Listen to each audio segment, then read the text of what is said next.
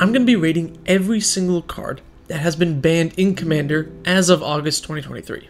A few things to keep in mind. Commander is run by the Rules Committee, not Wizards of the Coast. They do not ban cards based on data. Many of these cards are banned because of the play patterns they create, not power level, supposedly. According to their philosophy, the Rules Committee does not ban on power level alone, although I would argue some of them are definitely banned on power level alone. I'm also going to ignore the conspiracy cards and dexterity cards, or any card that is banned for non gameplay reasons. Now, I have a very different philosophy when it comes to banning. If a card or combo is illegal in the format and not causing any issues, then anything weaker than that, for the most part, should be fine. Cards like Necropotence and Underworld Breach are some of the most powerful cards by themselves. So if a card is not as powerful as Necropotence, then it's probably fine. As for combos, the best one right now is Thassa's Oracle and Demonic Consultation, and honestly, I'd kinda prefer to see it go just because I'm sick and tired of Oracle. But anything that's a weaker combo than that, meaning it requires more pieces, more mana, is just less consistent in some way, is probably fine for the format, because there are a lot of combos that are worse than Thassa's Oracle, but still powerful and see some play, but they're not broken. Currently, other than maybe Thassa's Oracle, Dockside Extortionist is the only card that I think needs to be banned. It's probably too powerful on an individual level and too game warping. So if a card is significantly less powerful than Dockside, I'm not super concerned about it being unbanned. I also don't believe in signpost bans, which the Rules Committee does like to do. Signpost bans are essentially cards that they banned just to indicate to players that you might not want to play a card that is similar to this. I think those are ridiculous. If you ban a random land destruction card, does that actually stop anyone from playing Cataclysm and Winter Orb? If they were going to play those cards, they were going to do it anyway. So I don't really like signpost bans, it just fluffs out the ban list needlessly. Alright, enough prelude, let's actually start. I'll start with the coldest takes and we'll try to get progressively hotter as the video goes along. It wouldn't be a Trinket Mage video if I didn't have some controversial hot take that gets people to yell at me in the comments. Alright, let's start with Black Lotus. I mean, what can I say? It's the best card ever printed. Obscenely powerful fast mana, giving you 3 mana for 0. It's so broken, so absolutely busted, I would not want it in the format. It's just too much mana too quickly, but I don't need to sell you on how good you know, Black Lotuses. In the same vein, the 5 Moxen, I think we have plenty of fast mana in the format and just don't need more. Plus, these are really expensive reserve list pieces, it would be awful. Ancestral Recall is 1 blue, draw 3, which is utterly ridiculous. It's just way too good. And to round off the Power 9, Time Walk. 2 mana to take an extra turn is really way too cheap. It's nuts how good this card is and it doesn't exile itself so you can loop it really easily. Too strong for Commander. Time Vault is a funky, funky artifact that enters tapped and doesn't untap normally, but it taps to take an extra turn, and you can skip a turn to untap it. Or if you play a card like Voltaic Key, you can just take infinite turns very easily. This would be a two card colorless combo that just takes infinite turns, and you have things like Urza's Saga to tutor up the Voltaic key really easily, it'd be a crazy strong combo. Probably too good for Commander. Gifts Ungiven is an interesting tutor. It lets you search for up to four cards, and then two of them go to your graveyard and two of them go to hand, of an opponent's choice. It is neat that you can just choose two cards and put two into the graveyard. Really fun with their reanimation target and Unburial Rites. Honestly, the card is very similar to Intuition, it has a lot of the same political elements, but Gifts Ungiven is not on the reserve list. So it would be an affordable alternative to Intuition. I think the card would be really powerful, but it would be totally fine for the format, and I would love to see Gifts Ungiven. Emrakul is one of the big bads of Magic. This 15 mana card is one of the be all end all biggest baddest creatures in the game, and I have no clue why it's banned. Like, yes, I understand it like takes an extra turn, it has Annihilator 6, and it just destroys some random player. But like, it's also 15 mana. I mean, at that point, if I put 15 mana into a Genesis Wave, I probably win the game on the spot.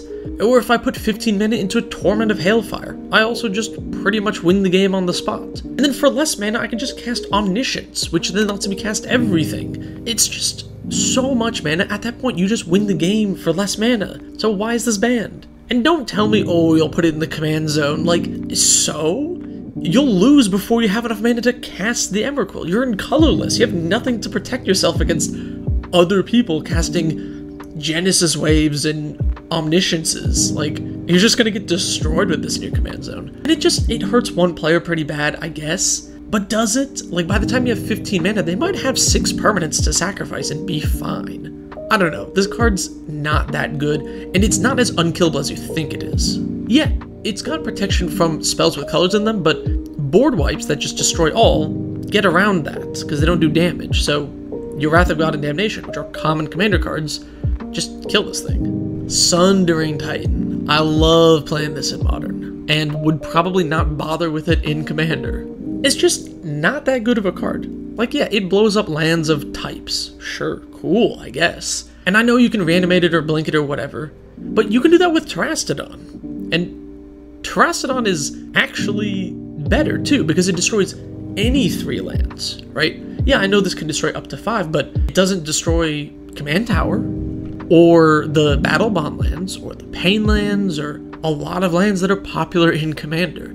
It has to hit things with types. It's just probably worse early game land destruction than Terastodon. Now, Sylvan Primordial is better Terastodon because when you reanimate this early, you get 3 force. So not only do you set your opponents back, but you get way ahead on mana. I've tested with the Sylvan Primordial before in Commander to see how good it is, and it's just really good. This card is nuts. Biorhythm is a strange sorcery. It sets everyone's life total to the number of creatures they have. So, like, what's the best thing you can do with this? Cyclonic Rift, and then untap cast it with a creature in play, and you're like, haha, I win. Is that even that scary? Like, that's kind of fine. It's an 8 drop. So, let's say you just cast Biorhythm by itself. Then people have, what, 3, 4 creatures in play, everyone's life total gets really low? Isn't that kind of fun and exciting to just set everyone's life total really low and then swing in with combat damage? That's kind of how you want games to end anyway, right? I don't know, I, it's just, it's 8 mana. It should close out a game or get close to it for that mana cost.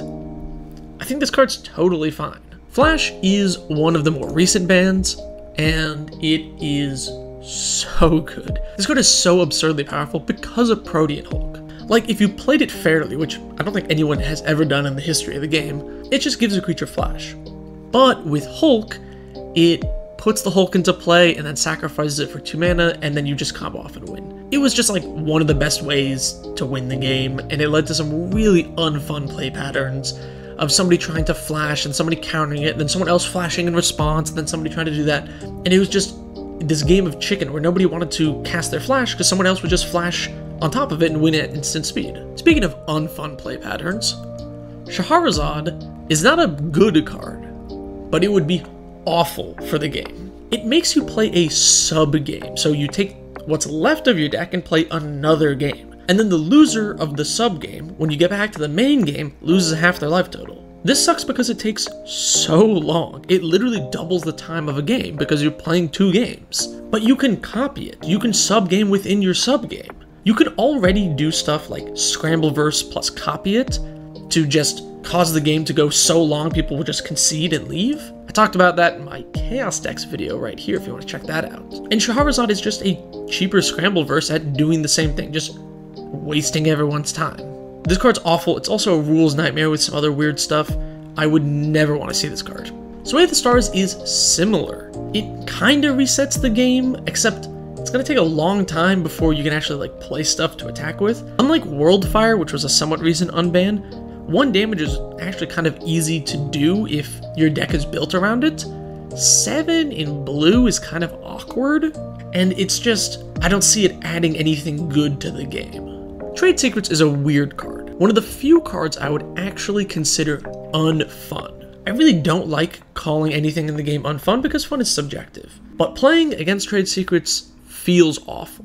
Here's how it goes I have trade secrets. And I go, hey, Timmy, would you like to draw 20 magic cards?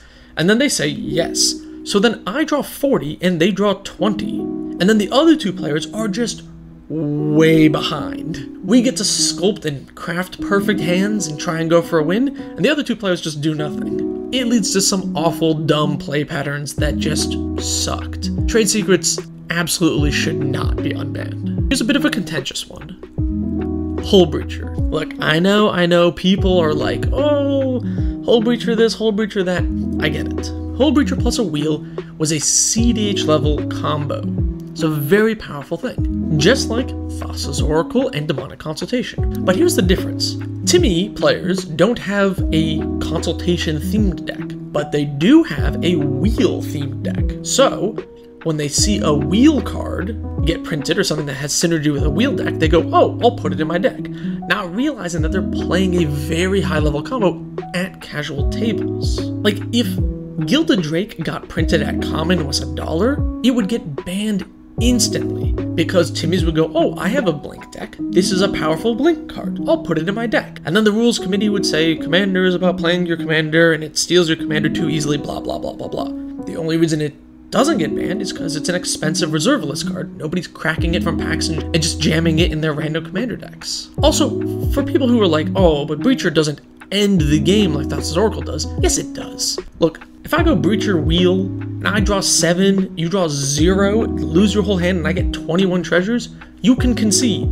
The game's over. I've won. Yeah, it's gonna take a couple of turns probably, but like, you lose. It's not like a modern tournament where you have to wait for the Storm player to combo off entirely because they have a 1% chance of fizzling. Just go to the next game, it's Casual Commander, chill out. Alright, this next one I think shows how poorly the RC handles the ban list, more than most. Panoptic Mirror. Oh my god, this card is so bad, but it's fun and cool, which makes it one of the worst things to have on the ban list. Look, you spend mana to imprint a card underneath it, and then on every upkeep you cast it.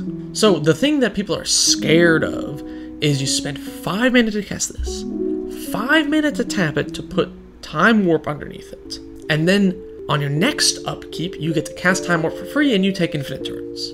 So that's two cards, 10 mana, and the combo is sorcery speed because you have to wait a full turn cycle, which means sorcery speed removal could stop the combo. This sucks. This isn't a good combo. like, there are so many things you can do for less than 10 mana, two cards that just win the game on the spot. This is not a powerful thing but it would be fun to have. Imagine putting a Chaos Warp under this and then spinning a random card every single turn. You like just keep Chaos Warping your own stuff. That could be fun. It leads to some weird, interesting like deck building decisions and what you put under it. It would be awesome for Commander, and because of that, I really want it unbanned. Alright, let's go through a few ones that I think are pretty obvious. Channel should stay banned. Lets you pay life to get a mana. You can get like 30 plus mana really easily. This card's ridiculous. Fastbond is very similar, lets you pay life to get an extra land drop, which is insane. You can dump all your lands into play super early, and if you ever have like a fetch land and a crucible effect, you can just fetch up every land in your deck. Griselbrand, now come on, this is like the be all end all, most format defining reanimation target. It would basically win the game by itself as soon as it comes into play.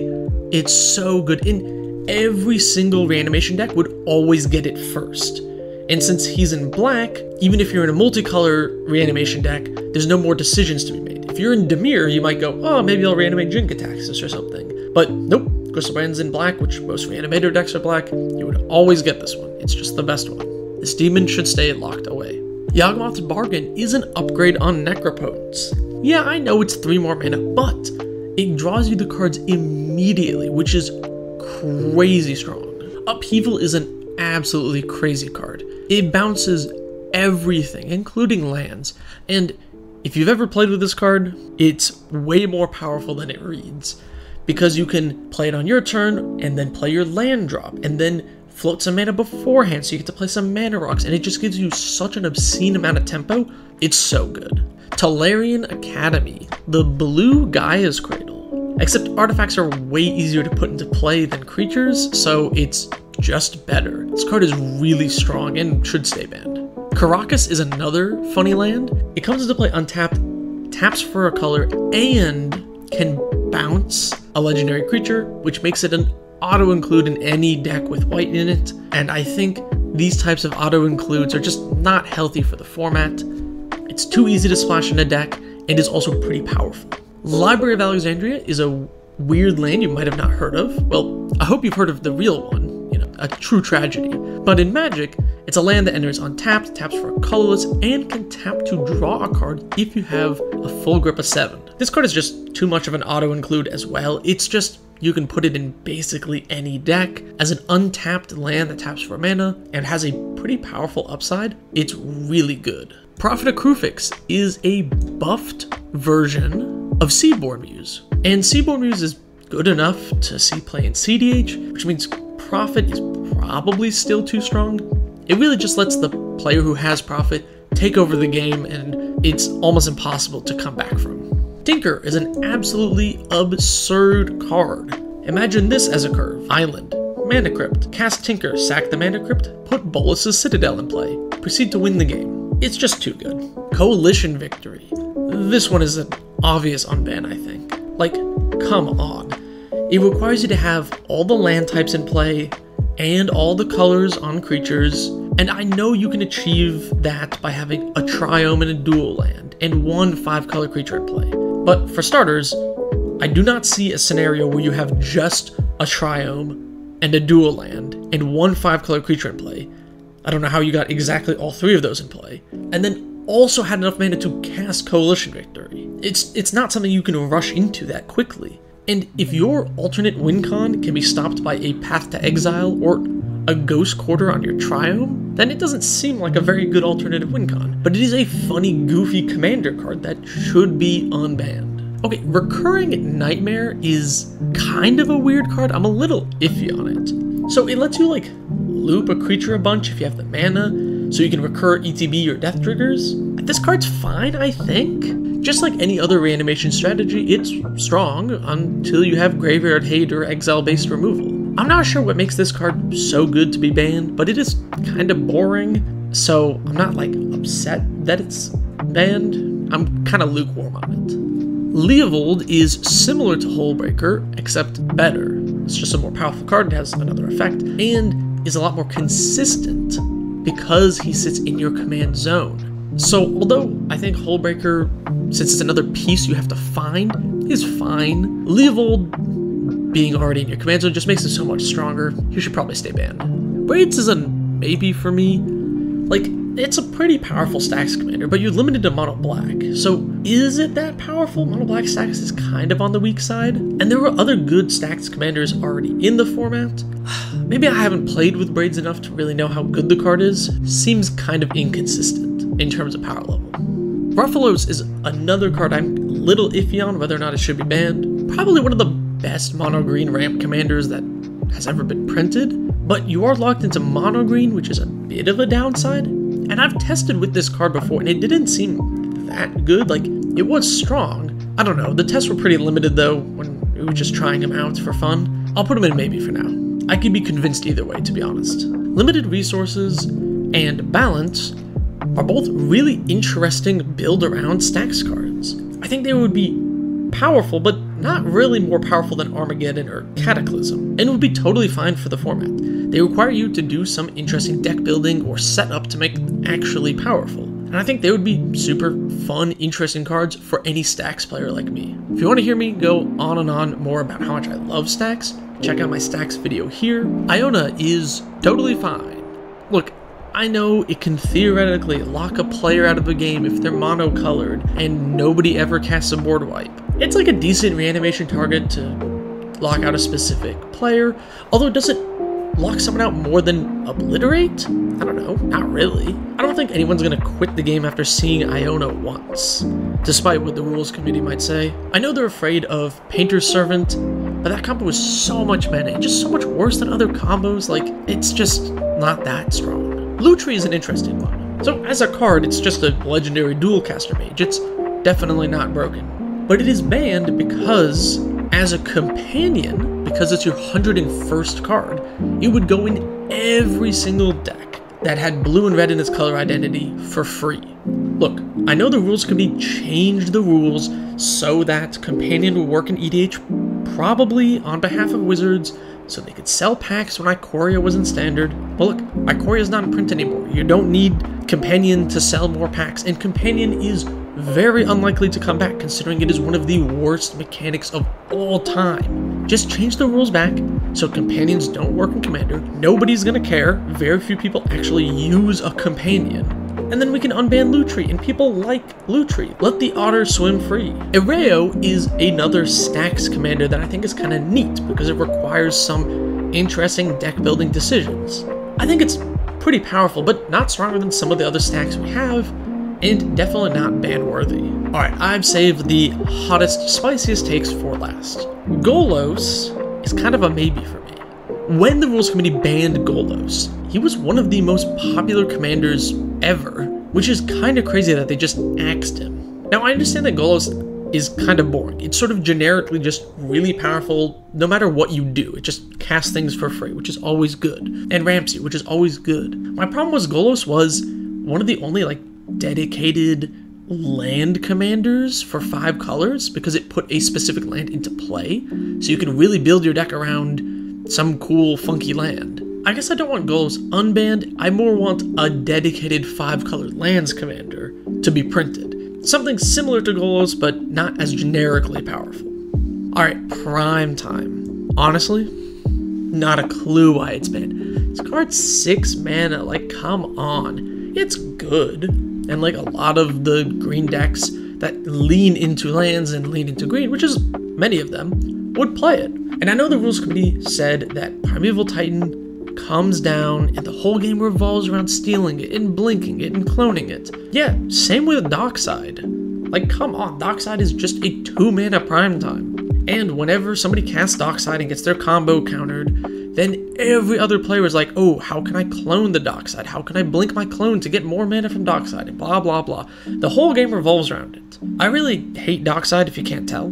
But Primetime is a 6 mana worse Dockside that has land synergies. It's a lot more fun and a lot more interesting and a lot more fair. I would love to see Primetime let into the format. I've been saving this one for last, I know I'm gonna get flack for it, but I think Paradox Engine is actually fine. Like, it would be good, don't get me wrong. It's a powerful card. I, I promise you that. But it was banned because people are not good at building decks. I'm sorry, someone's gotta say but like, I'm telling you, the arguments for this card baffle me. Absolutely baffle me. The RC says it inserts into any deck. Huh? What are you talking about? There are many decks that do not want a Paradox engine. Heck, look at CEDH decks from the past. Like, even some of the most powerful five color builds didn't play the card. There was just other things to do. If you were playing a heavily green land ramp based deck, which is already considered to be the most powerful type of ramp, then you probably didn't want Paradox Engine because you didn't run as many rocks or mana dorks. So it punished the decks that play this green land ramp, which is considered to be the strongest, which is a good thing, that we're powering up the other styles of ramp. You need a critical mass of mana dorks and rocks to make this card good. Having just two or three mana rocks in play isn't gonna win you the game, especially not in any deck. Thinking that you just need mana rocks and dorks for this card to be good is way off base go to any like Reddit post or podcast talking about the card, and people will be complaining that Paradox Engine makes games go super long, and that every turn takes forever, and they're just tapping and untapping and drawing, and then passing the turn, and then getting back to their turn again with the Paradox Engine still in play because nobody plays artifact removal, and then doing the same thing again. And that's because their deck wasn't built around Paradox Engine. They would just have mana rocks and go, well, this is kinda good, I guess. And then they wouldn't do anything with it. To make the card actually powerful, you need a critical mass of cantrips, which most casual decks do not play cantrips, tutors, which many casual decks also do not play tutors, and combo finishers, which many casual decks do not play. I played a lot of Paradox Engine in CEDH when it was legal, and when the card comes down, it ended the game because you would set up for a few turns with mana rocks and stuff, hold up your counter magic, play your big 5 drop, which was somewhat tough to do in CEDH, and then your cantrips, which are I cannot stress enough, really don't see that much play outside of CEDH, will go plus on mana and were card neutral. Because of that, you were able to churn through your entire deck very easily, very quickly, and as soon as you hit two tutors, you just won the game, because you would get Isochron Scepter and like Lightning Bolt, probably. It does not make the game take forever, it is just a normal Storm turn that pretty much ends the game. And not only is it fine for those aspects, but man, is it fun to brew around. This is like what Commander's for is brewing interesting decks. People played Sisay, Storm, that's Green White Storm, or Zairi and Storm, Jund Storm, come on. It was a colorless storm engine, and with Aetherflux Reservoir being a colorless storm finisher, means any color combination could now be a storm deck if you just took the time to brew around it. That type of creativity and deck building is awesome, but without the engine, Storm is relegated to blue and red for the most part. I know there's some other fringe ways you can do it in a few different colors, but it's mostly blue and red, let's be real. So I adore Paradox Engine, and I wholeheartedly disagree that it was that easy to slot into any random deck. Because if you weren't winning the game with Paradox Engine, you were probably doing it wrong. And if Paradox Engine was making it multiple turn cycles, that just means your playgroup didn't play enough removal. Because that card should have been removed if you didn't win with it or even removed after the first trigger of its ability. Alright, this was a pretty long vid, so let me know if you have any differing opinions about any of these cards. I'm sure I'll hear about Paradox Engine in the comments. I'm most curious about everything in the maybe section because honestly, that's what I'm most iffy about, and I'm super curious what other people think. Thank you so very much for watching. Subscribe for more.